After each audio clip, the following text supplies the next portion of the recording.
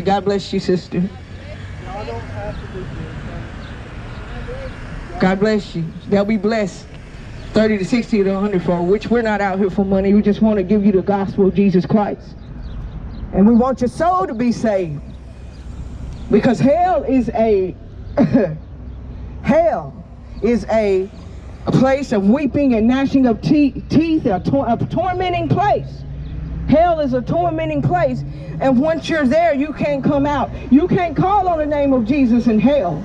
God bless you. And God don't want you there. He don't want you. Hell is not created for us. God did not just create hell for us.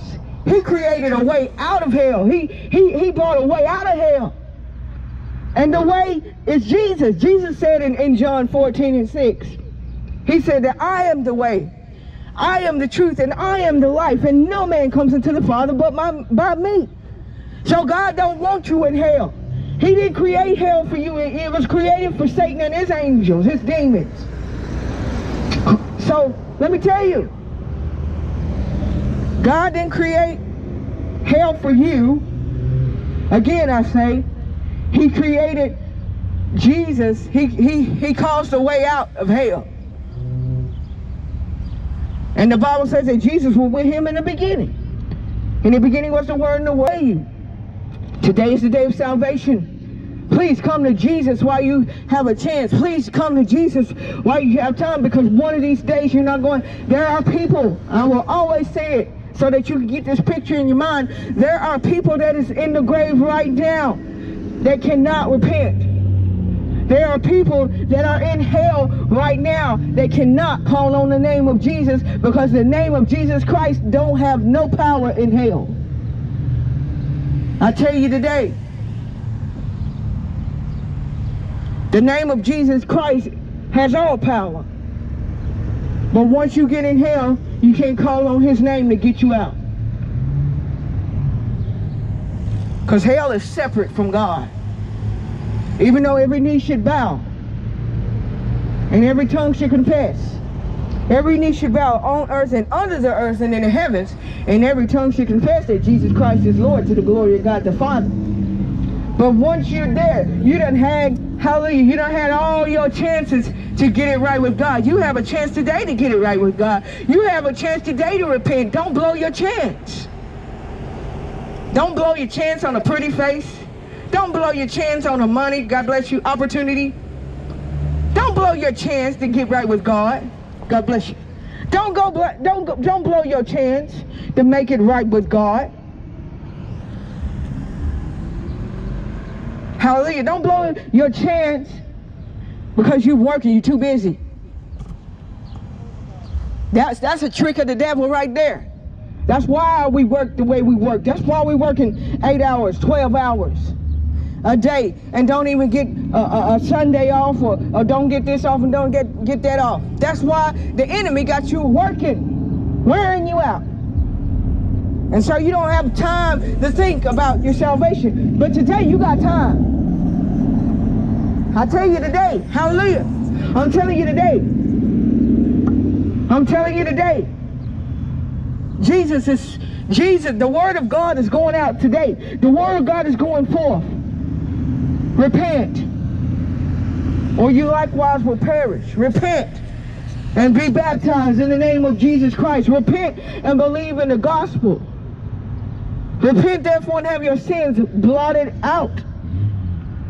Repent. Turn from sin. Turn from your wicked ways.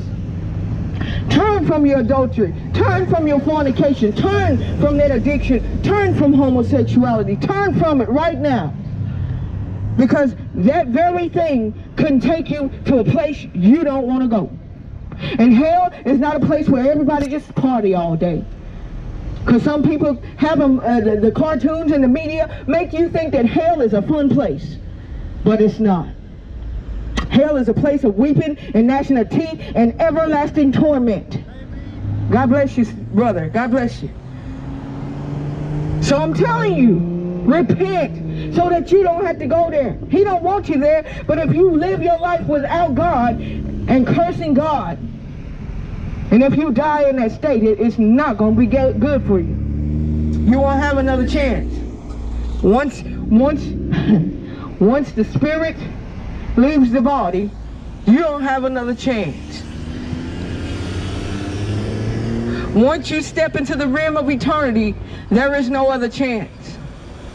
Hallelujah. God bless you. Hallelujah. Once you are in that grave, once you're in that casket and then, hallelujah, they put the casket in the vault and then they seal the vault and then they put you in the ground, you can't come from back from that. You can't praise God from the grave. You can't repent from the grave.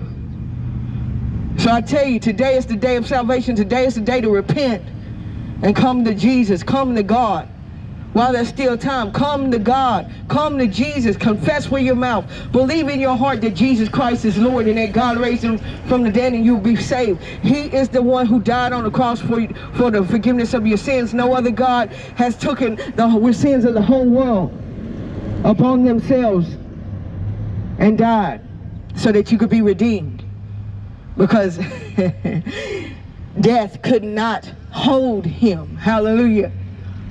Death could not hold the Son of God. Hallelujah. He was in the, the belly, the heart of the earth for three days. And on the third day, an early Sunday morning, he rose. Hallelujah. Jesus is a risen Christ. Hallelujah. Jesus is risen. You know that Easter message that they, Jesus